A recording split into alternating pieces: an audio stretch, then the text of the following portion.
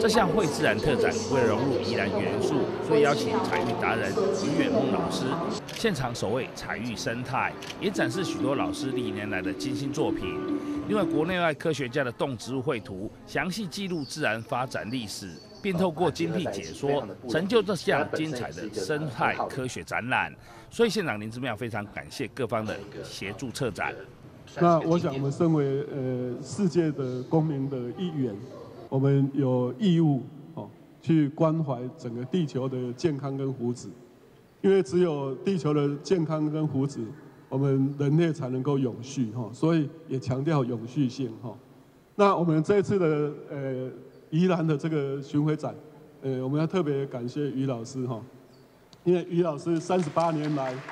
呃这个仔细还有花。花花了三十八年的岁月，哦，去观察这个彩玉。那我想依然是好山好水哦，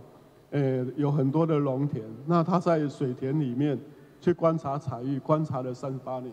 然后用手绘的方式哈。所以，呃，各位就也就了解为什么那个科学插画，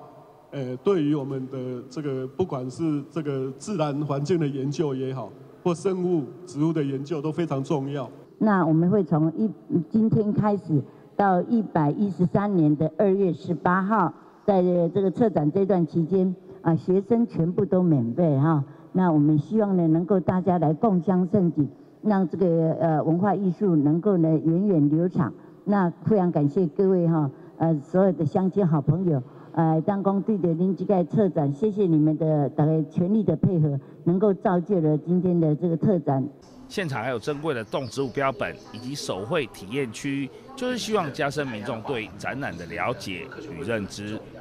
啊，第一个哈，我们在这个展览当中可以认识台湾所有的植物跟动物，尤其是特有的保育类的，全部都在这个地方都有。那我们特别跟台湾博物馆合作，那找了二十二件珍贵的动植物标本来这个地方，让大家可以现场的去做绘制观察。那我们希望透过这个展览里面呢，大家不要只是拿相机、手机拍一拍，然后就走掉了，而要能够静下来的，仔细用自己的观察去把它画出来。所以我们这里呢，还有做一个绘图的一个区域，为落实自然教育的推行，所以这项会自然特展，现任学生免费进场，一般民众则是收费五十元。